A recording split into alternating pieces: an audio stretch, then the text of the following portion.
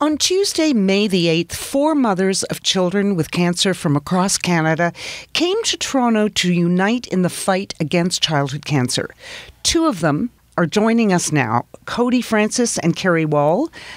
Both of them shaved their heads for the Mom Squad Challenge, which raised much needed funds with awareness in honor of their child's cancer journey and the 10,000 children battling cancer in Canada today.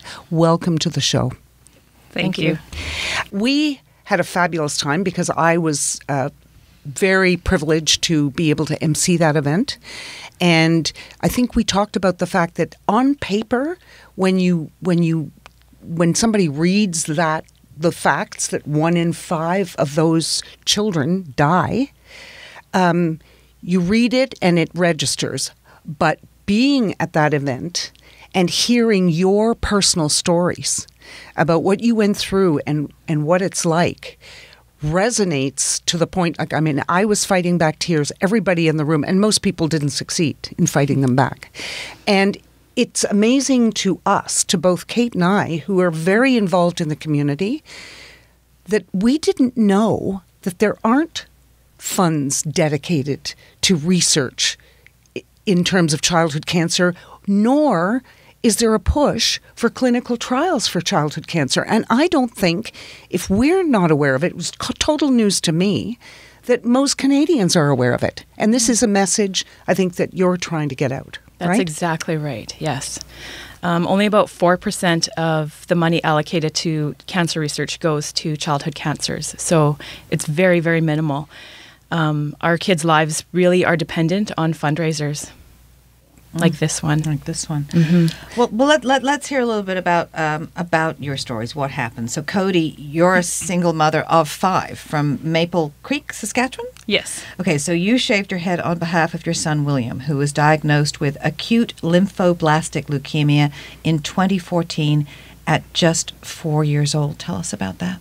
April of 2014, I just started noticing odd things. Like he was getting tired, he was pale. I just thought maybe he had low iron because my mm-hmm. eldest son had the same thing happen. But then we started noticing the petechia and the hard to wake up, the night sweats, the nosebleeds. And then we just made a quick call to our family doctor who was able to get us in. We got some blood work. We he's like, well, this is a couple things that could be wrong. He, low iron, one of them, which we mm-hmm. all thought mm-hmm. was. And then he's like, well, that, because he had had a cold for so long too, that maybe something's wrong with his white blood cells. Like, because sometimes when you have an over extended cold, that it affects your blood mm-hmm. cells. But then that wasn't the case. I got a phone call on our drive home and says, "Can you pull over to the side of the road? You need to go to the hospital." That's when we got our news that he at the hospital medicine hat he had said that your kid your son might have cancer. We're waiting to, for it to com- be confirmed with calgary. And then we had to wait. We had to make plans quickly according to the doctor and get stuff started. And the first like may was just a blur. And he was on treatment for 38 months. We're coming up to our uh, almost our year off treatment which is awesome. And but we still have a long journey with our follow-up appointments and things like that. For the first two years off treatment we have to go every two months for blood work. And the third year we go every three months and then he gets his heart monitored every five years. Uh, his heart checked and then we're after the three years is up we go yearly until he's 18 at the children's hospital Tell us what it's like in terms of the impact on your whole family because this is never just about one child. This is about everybody. At the time, I only had four children. Um, my oldest now suffers from anxiety issues. Uh, he- even if we're gone for a couple hours and he doesn't hear from us, he's constantly texting, "Are you okay? Where are you at?" Um, he's we're seeking help for him with that.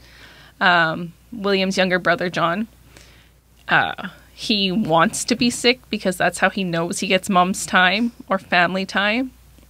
Because if you're sick, then everybody comes and helps you, right? And my girls are just too young to remember anything. So, Carrie, you're also from Saskatchewan. Yes. Um, you shaved your head on behalf of your daughter Haley, who sadly passed away from cancer when she was just 13. Yes. So, tell us a little bit about your journey, if you can. Um, well, Haley was 13 when she was diagnosed. She had leg pain that was for probably close to a year. Um, we brought her to doctors, physiotherapists, chiropractors, massage therapists. We did all kinds of things. Uh, everybody just said it was growing pains or it was a dance injury because she loved to dance. Um, when we brought her in, she had flu-like symptoms for about a week, um, and we brought her in because I she was having trouble breathing, so I thought she had pneumonia. It had turned into a pneumonia. Uh, when we brought her in, they admitted her to emergency immediately. Uh, did a CAT scan, and it revealed that there was tumors around her lungs, as well as a tumor in her pelvic bone. But this was a fast moving cancer. It was extremely aggressive. Yeah. She passed away three months later. what was that? I mean, I, I don't even know if you know what that was like. You must have gone into complete shock. Yeah, you do. And denial. I remember when the doctors showed us the the CAT scan results and they showed us the tumors. I just remember thinking, well, this is impossible. That can't be what I'm looking at. Like, it's impossible. Not my child. You know. So, the Mom Squad, what's it like having a, a group like this to, to support you? It's amazing. I loved it. Like just to find somebody that can relate to your story. Like in Saskatchewan, I found it hard to find other families, but then to come together from with women across Canada, I've had a great time considering the circumstances that we've come together with for. Like, I think one of the things that people don't realize is that it's it's uh, it's such a multifaceted set of issues that comes with that diagnosis. Uh, as you were talking about other children, uh, their reactions, fathers who go to work to make sure there's the bills are paid and feel left out because they're not at the treatments and they want to be there with their child, all kinds of things, guilt. Um, that you're not spending more time with other kids. And so the childhood cancer group, I think, really sort of help you address all those or connect you with the services that you need, right? Yes. Yes. Yes, they do. Yeah. So, how did they help you? specifically this has helped me with the after fact right now because when your child's going through it you don't think about anything else like you don't care about yourself you mm-hmm. don't care if you have a clean house or nothing because you're always living like you have to go like everything's an emergency it's just like it's kind of a breather to know that we've all made it through Right. What would you want every Canadian to know? that childhood cancer is not rare. It's actually common. It's the number one killer of children over any other illness and disease in this country is cancer. Um, one in 285 children get cancer. So if you think about your school, how many kids are in your school, your child's school? I mean, how many kids are going to get cancer just this year, are going to be diagnosed?